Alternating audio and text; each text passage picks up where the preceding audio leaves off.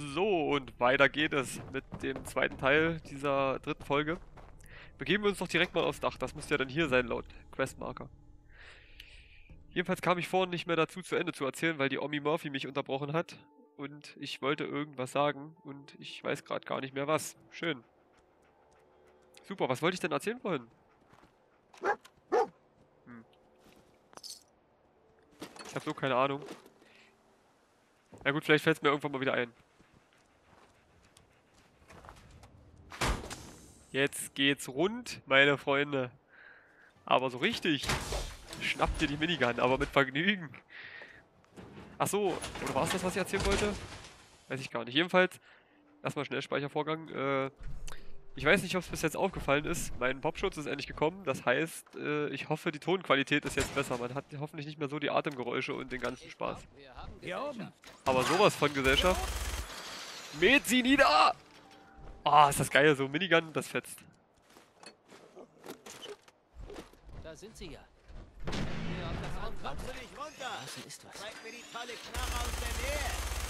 Soll ich runterkommen, ja? Boah, der Einschlag so gut, ne? Was? Äh,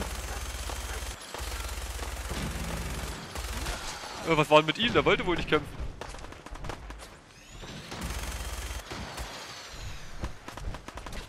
Hier kommen noch mehr von den Kollegen. Was, wo? Wo denn? Ach, hier. Oh mein Gott. Ass zum Henker. Oh, fuck. Tötet es möglichst schnell.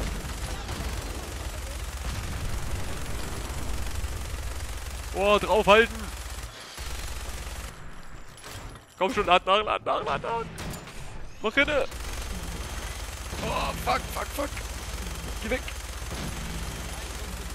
Dieses Auto ging wohl nicht mehr kaputt. Stirb, stirb doch. Alter. Der hält aus, der hält aus.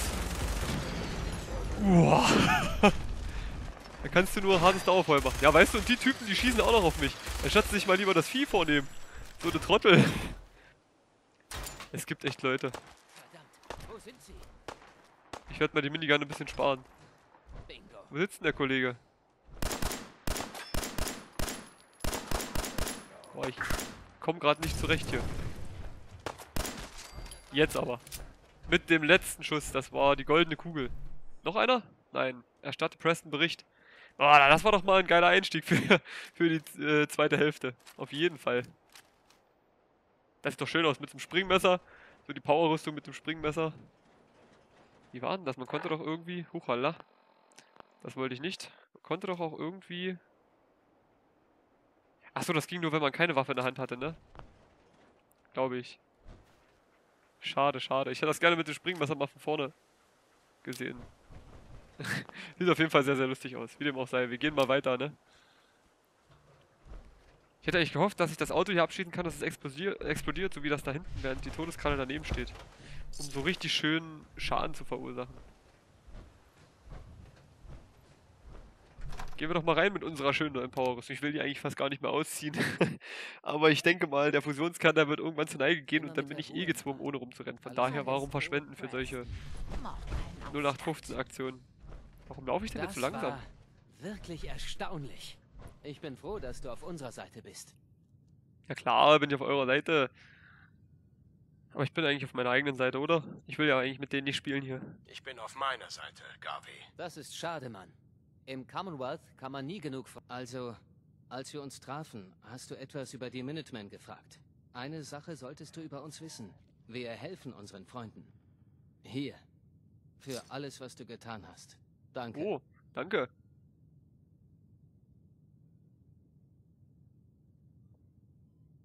Ja, ich nehm's. Ich nehme, was ich kriegen kann. Hm. So spricht ein wahrer Söldner. Wenn du mal nicht nur für dich selbst kämpfen willst, besuch uns doch in Sanctuary. Ich könnte jemanden wie dich brauchen. Jemanden, der Dinge erledigt.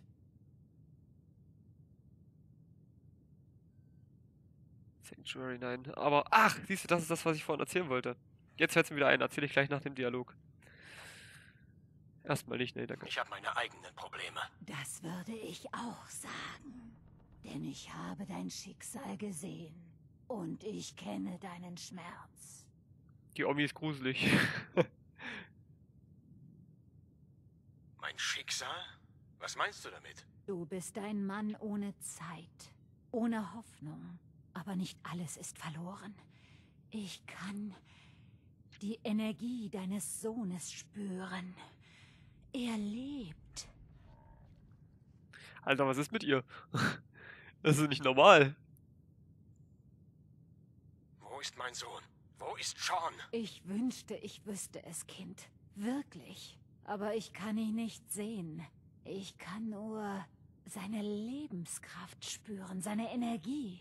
Er ist da draußen. Und ich brauche nicht mal das dritte Auge, um dir zu sagen, wo du suchen sollst.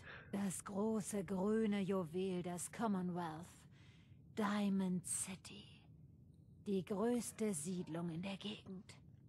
Kann seine Lebenskraft spüren. Wie bei Pokémon oder was? Wie viel KP hat er denn noch?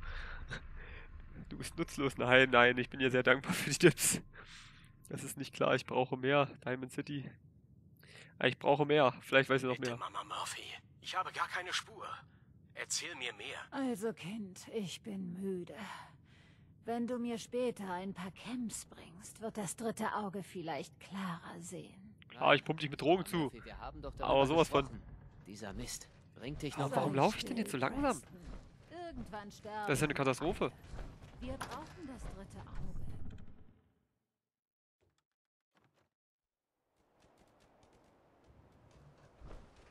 Ah, okay. Ach, hier kann ich äh, äh, dauerhaft gehen und laufen umschalten. Gut zu wissen. So, jetzt muss ich erstmal die ganzen Fuzis hier absuchen. Die ich hier umgelietet habe, noch nachträglich. Ich weiß nicht mehr, wen ich hier schon gelootet habe und wen nicht. Schrot, Schrot, Schweißerbrille, Lederrüstung. Raider. Rechtes Bein. Rechtes Bein hatte ich, glaube ich, auch noch nicht, wenn mich nicht alles täuscht. Harnisch. Molotov Cocktail, auch schön.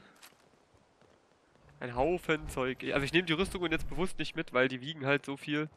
Was ist mit ihr, Alter? Ey, die kann, die kann irgendwie hell sehen, die kann mich mit einer Powerrüstung zur Seite schieben. Ich glaube, die alte Frau hat Superkräfte.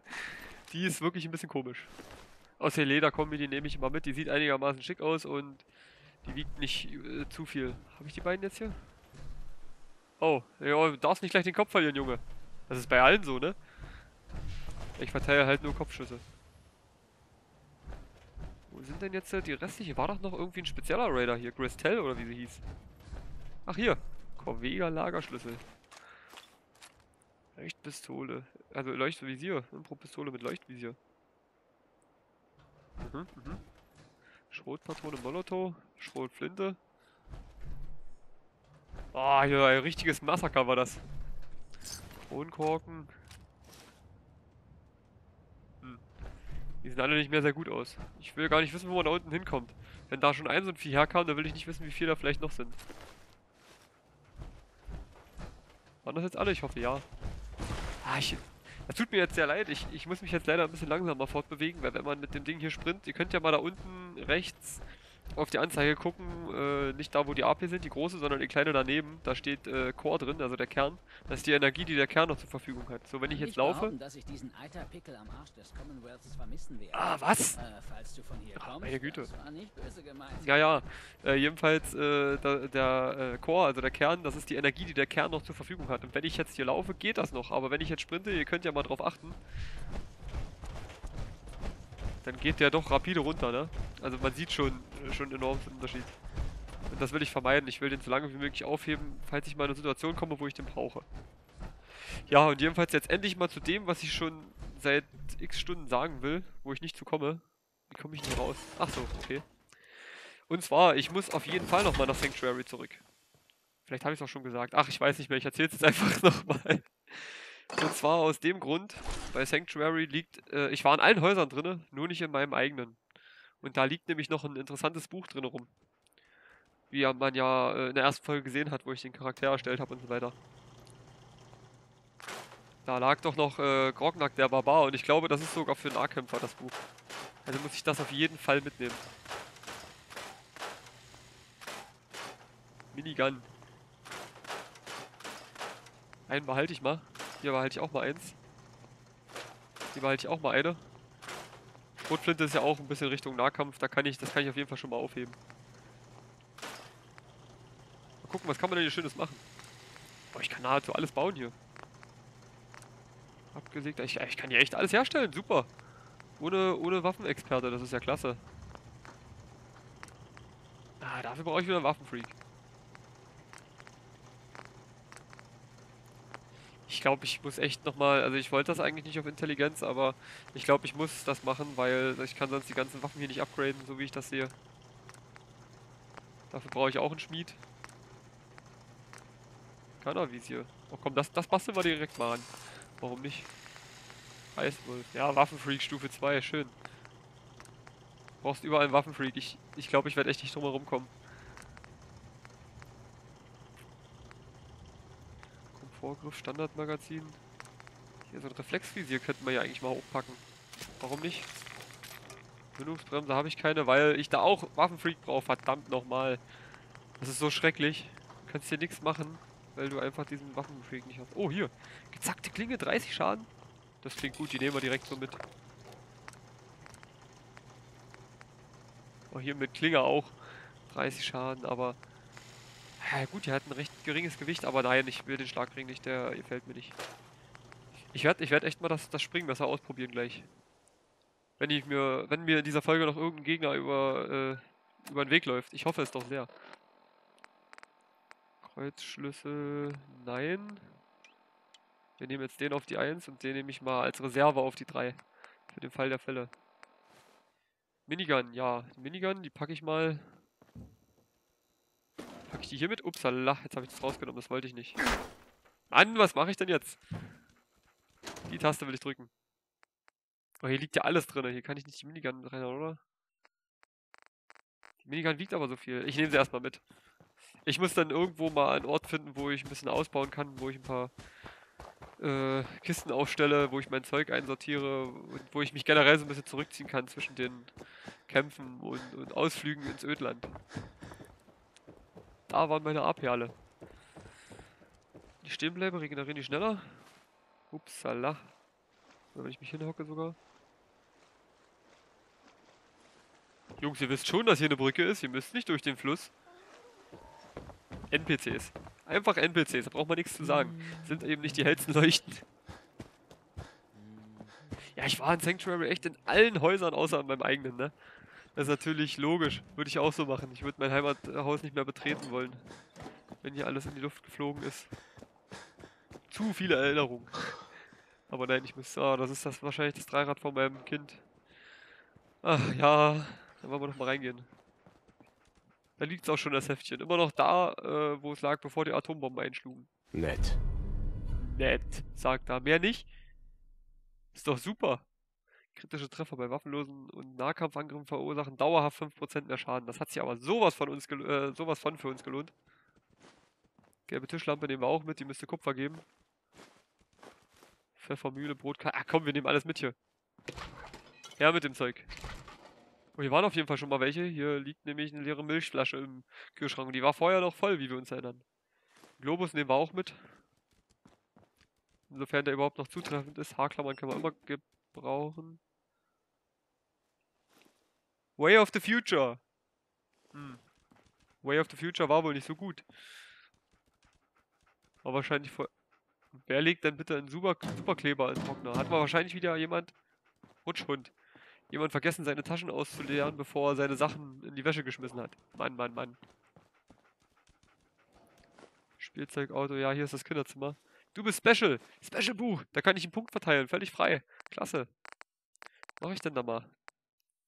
Ich glaube, ich nehme den gleich mal für Intelligenz, weil ich brauche das ja für den Waffenfreak. Ich werde nicht hundertprozentig drum herum kommen, also nehme ich es jetzt einfach mal mit. Ich komme, Kumpel.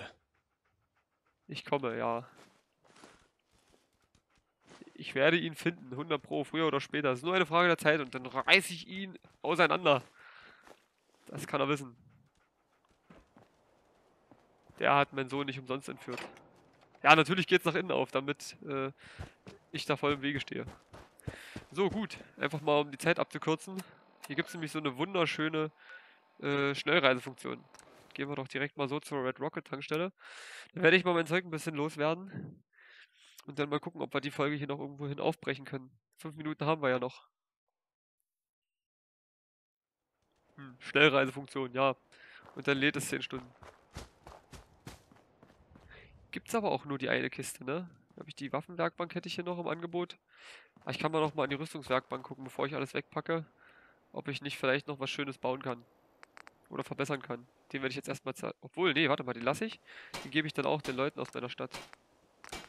Ohne Extras, mit Taschen. Hier gibt es doch so einen Leichtbau. Oh, Ultra-Leichtbau. Rüstmeister Stufe 3. Und hier fehlt mir Kork. Woher kriege ich denn Kork, bitteschön? Reduziert das Gewicht. Erhöht den AP-Bonus. Oh, das hätte ich ja gerne. Ja, zur Not nehme ich jetzt fürs erste Mal die Taschen. Dann kann ich wenigstens ein bisschen mehr tragen, ist auch nicht schlecht. Ich muss erstmal ein paar Sachen zerlegen, die ich zu viel habe.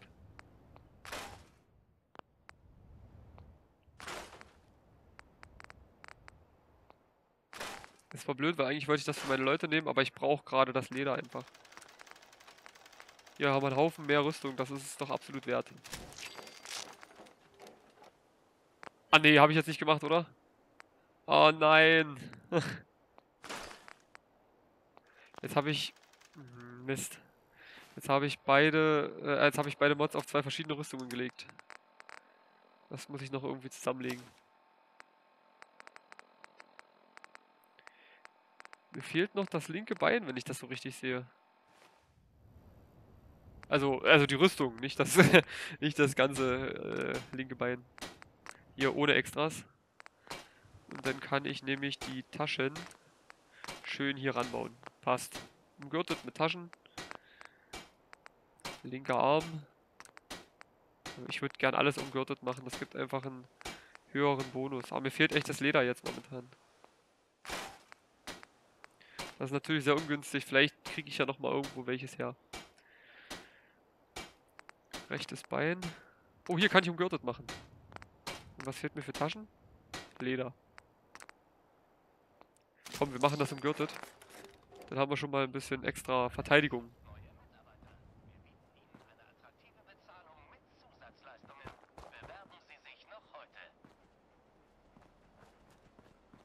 Da ist ein iBot.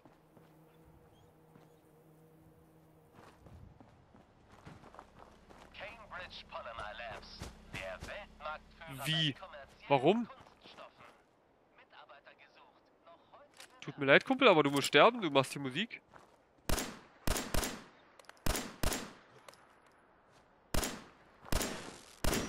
Das tut mir leid, also nicht, dass du hier noch Musik spielst und dann kriege ich hier noch Ärger wegen, äh, hast du nicht gesehen hier Lizenzen?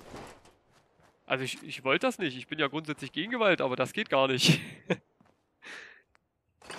Dann werden wir den ganzen Schrott ablegen und dann werden wir mal wieder die falsche Taste drücken. Warum drücke ich immer die falsche Taste?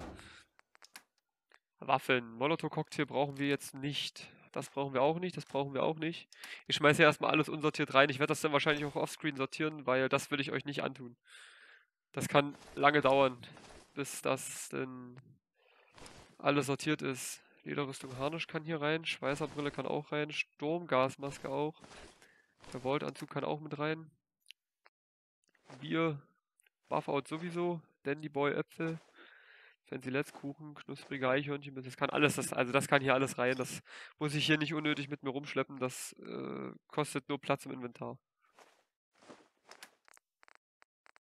Noch irgendwas? Hier komm, hau das auch noch mit rein. Keine Verbesserungsmod. Macht Sinn.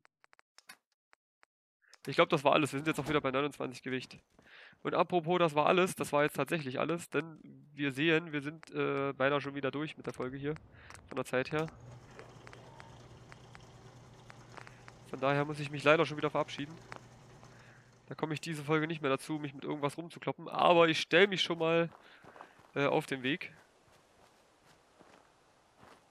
Wir stellen uns hier inmitten der äh, toten Rattenkadaver.